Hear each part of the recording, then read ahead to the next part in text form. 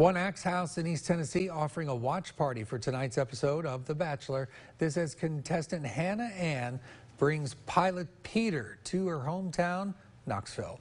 The Smoky Mountain Axe House in Alcoa will have a private viewing party for The Bachelor tonight. We're told it's where Hannah Ann brought Peter for the hometown date. There are just four contestants left. Madison, Kelsey, Victoria F., and Hannah Ann, and Pilot Pete will be making stops in all of their cities. Doors open at Smoky Mountain Axe House at 7 p.m.